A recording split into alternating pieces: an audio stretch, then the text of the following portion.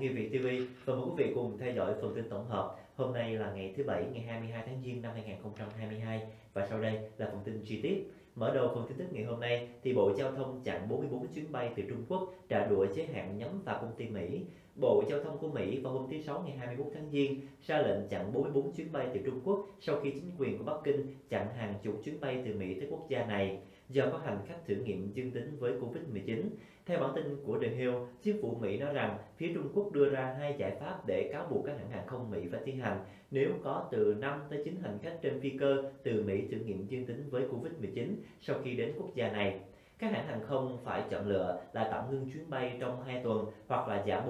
40% số lượng hành khách trong thời gian 4 tuần. Tuy nhiên, thì Bộ Giao thông Mỹ đưa ra nhận xét rằng các giới chức của Trung Quốc đã phá đi quá mức các biện pháp cấp thời nhằm ngăn chặn dịch, đặc biệt là nhắm vào ba hãng hàng không của Mỹ là United Airlines, Delta Airlines và American Airlines.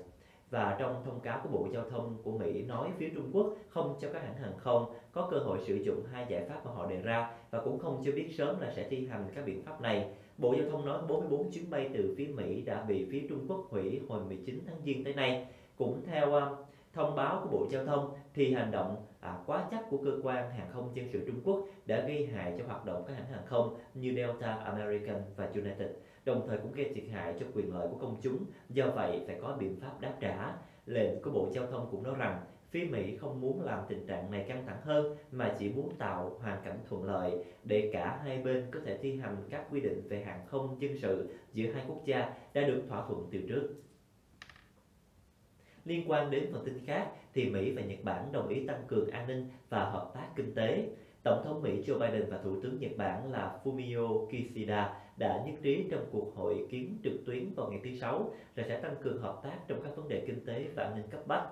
bao gồm Trung Quốc, phi đạn của Triều Tiên và mối đe dọa của Nga đối với Ukraine. Cuộc họp trực tuyến là cuộc hội đàm quan trọng đầu tiên của họ kể từ khi ông Kishida trở thành thủ tướng của Nhật Bản vào tháng 10 vừa qua diễn ra sau các cuộc thảo luận 2 cộng 2 trong tháng này. Trong các bộ trưởng quốc phòng và ngoại giao từ các nước đồng minh lâu năm bày tỏ lo ngại về Trung Quốc ngày càng hung mạnh và tuyên bố sẽ đáp trả nếu cần thiết trước hoạt động gây bất ổn ở Ấn Độ Dương Thái Bình Dương. Ông Kishida cho biết ông và ông Biden đồng ý hợp tác để thực để hiện thực hóa một khu vực Ấn Độ Dương, Thái Bình Dương tự do mở rộng, hợp tác chặt chẽ về Trung Quốc và vấn đề phi đạn Triều Tiên và cũng hợp tác về Ukraine. Ông cũng nói là Nhật Bản sẽ tổ chức cuộc hội nghị của bộ tứ gồm có Mỹ, Nhật Bản, Úc và Ấn Độ vào nửa đầu năm nay với chuyến thăm của ông Biden. Ông Biden đã nhận lời mời và cho biết ý định đến thăm vào cuối mùa xuân. Hãng Reuters cũng à, dẫn lời một quan chức cấp cao của chính quyền Mỹ cho biết đồng thời cho biết thêm rằng là một trong những mục tiêu của cuộc họp bộ tứ là xem xét là tiến độ cam kết cung cấp 1 tỷ liều vaccine COVID-19 cho Đông Nam Á đến cuối năm 2022. Viết trên Twitter, ông Biden nói ông vinh dự được gặp Thủ tướng Kishida để củng cố hơn nữa liên minh Mỹ-Nhật, nền tảng của hòa bình và an ninh Ấn Độ Dương-Thái Bình Dương và trên toàn thế giới. Một thông cáo của Nhà Trắng cho biết ông à, Biden hoan nghênh quyết định tăng chi tiêu quốc phòng của ông Kishida và nhấn mạnh tầm quan trọng của việc duy trì các khoản đầu tư quan trọng này theo thời gian.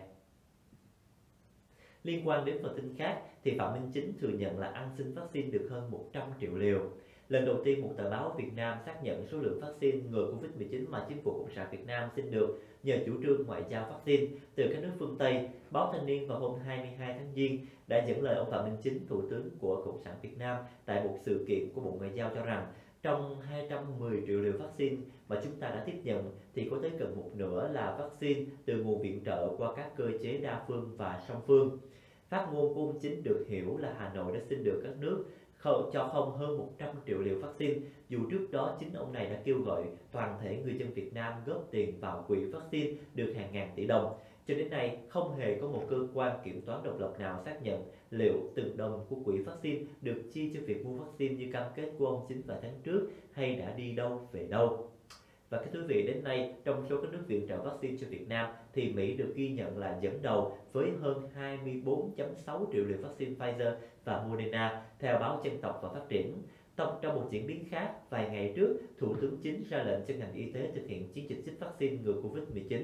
xuyên Tết nhâm dần 2022 tại 63 tỉnh thành. Đồng thời thì Bộ Y tế cũng được lệnh có kế hoạch phương án chích vaccine cho trẻ em từ 5 tuổi đến 11 tuổi theo khuyến cáo của Bộ Y tế, Thế giới, thực tiễn thế giới và Việt Nam. Theo các báo, Việt Nam đã đặt mua 21.9 triệu liều vaccine trong nhóm tuổi này và chấp nhận có thể ngừa, à, có thể là thừa vaccine. Tính đến hôm 22 tháng Giêng, tổng số liều vaccine được chích ở Việt Nam là 173.7 triệu liều vaccine với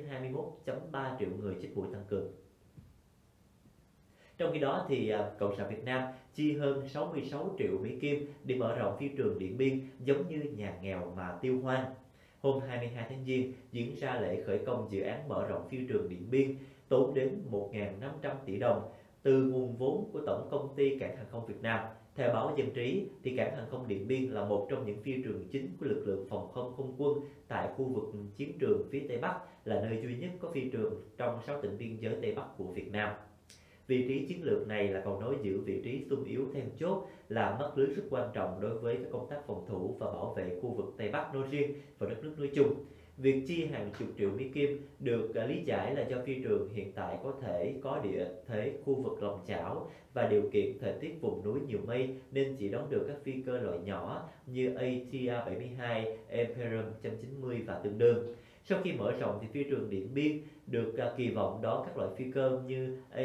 2, 320 hoặc là A321 và tương đương với hệ thống trang thiết bị, phương thức tiếp cận hạ cánh mới nhằm củng cố tiềm lực và sức mạnh quốc phòng an ninh trong xu thế mới, bảo đảm yêu cầu bảo vệ vững chắc vùng trời. Công suất hiện tại tại phiêu trường này là 300.000 lượt khách mỗi năm được trông đợi nâng lên 500.000 tức chưa tới 550 khách mỗi ngày Báo Dân trí cho biết thêm là việc mở rộng phi trường Điện Biên thể hiện sự quan tâm của đảng và nhà nước đối với sự phát triển kinh tế vùng sâu, vùng xa, hẻm núi và hải đảo. Dự kiến việc mở rộng phi trường sẽ hoàn tất và đưa vào khai thác vào quý thứ ba năm 2023 nhân kỷ niệm 70 năm chiến thắng Điện Biên Phủ. Liên quan đến dự án này thì báo Lao động vào hôm tháng 4 ngày à, tháng 4 năm 2018 viết là dù ế tới mức Vietnam Airlines muốn rút tuyến, lãnh đạo tỉnh Điện Biên vẫn muốn hơn 2.100 tỷ đồng từ ngân sách của nhà nước hoặc là một cơ chế thu hút đầu tư theo hình thức đối tác công tư để nâng cấp phi trường Điện Biên. Liên quan đến phần tin khác thì bỏ cách ly đối với người về quê, không yêu cầu xét nghiệm người chưa chích vaccine. Hôm 22 tháng Giêng, hai bộ à, ở Việt Nam đồng loạt gỡ bỏ những rào cản với người về quê ăn Tết nhâm dần báo ờ, tuổi trẻ và Bộ Y tế phát đi công văn gửi cho các địa phương là không cách ly y tế đối với người về quê ăn Tết vì hiện nay việc chích vaccine ngừa Covid-19 tại các tỉnh thành đã đạt tỷ lệ cao. Thống kê này của Bộ cho thấy là người từ 18 tuổi trở lên được chích liều 1 vaccine đạt 100%, người chích mũi tăng cường đạt 18.6%, trẻ em trên 12 tuổi chích liều 1 đạt 94.1% và chích liều 2 đạt được 82.2%. Thay vì là bị áp đặt những biện pháp cách ly tại địa phương thì những người về quê được khuyến khích thực hiện các biện pháp phòng dịch Covid-19 gồm thực hiện 5K, tự theo dõi sức khỏe, không phải cách ly y tế. Trường hợp có các triệu chứng nghi nhiễm Covid-19 như ho, sốt, khó thở thì những người này được khuyến cáo là hạn chế tiếp xúc, đi lại và thông báo ngay cho y tế địa phương để được hướng dẫn xét nghiệm. Cảm ơn quý vị đã theo dõi phần tin tổng hợp với Jimmy. Hẹn gặp lại trong phần tin kế tiếp.